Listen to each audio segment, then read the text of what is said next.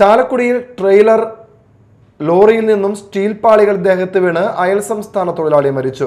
സഹപ്രവർത്തകന് പരിക്കേറ്റു. ദേശീയപാത പെയിന്റിംഗ് തൊഴിലാളിയും ഉത്തർപ്രദേശ് സ്വദേശിയുമായ മോഹൻ സിംഗ് ആണ് മരിച്ചത്. കൂടെയുണ്ടായിരുന്ന സഹപ്രവർത്തകൻ രാജയ്ക്ക് പരിക്കേറ്റു. വ്യാഴാഴ്ച വൈകിട്ട് ആറോടെ ദേശീയപാതയിൽ ഡി സിനിമാസിന് സമീപം മേൽപ്പാലം കയറുന്നതിനിടെയായിരുന്നു സംഭവം. കളമശ്ശേരിയിൽ നിന്നും ചെന്നൈയിലേക്ക് സ്റ്റീൽ പാളികൾ കയറ്റി വന്ന ട്രെയിലർ ലോറി പെട്ടെന്ന് ബ്രേക്കിട്ടതോടെ ബെൽറ്റ് പൊട്ടി പാളികൾ റോഡിലേക്ക് വീഴുകയായിരുന്നു. പെയിന്റിംഗ് കഴിഞ്ഞ ദേശീയപാതയിലെ ഡിവൈഡറിൽ വിശ്രമിക്കുകയായിരുന്ന തൊഴിലാളിയുടെ ദേഹത്തേക്കാണ് സ്റ്റീൽ പാളികൾ വീണത്. മോഹൻ സിംഗ് തൽക്ഷണം മരിച്ചു. പരിക്കേറ്റ രാജയെ ആശുപത്രിയിൽ പ്രവേശിപ്പിച്ചു. സംഭവത്തെ തുടർന്ന് ദേശീയപാതയിൽ ഗതാഗതക്കുരുക്ക് അനുഭവപ്പെട്ടു. ജെ സി ബി കൊണ്ടുവന്ന് ദേശീയപാതയിൽ നിന്നും പാളികൾ നീക്കം ചെയ്താണ് ഗതാഗതം പുനഃസ്ഥാപിച്ചത്. Media time Chalakudy.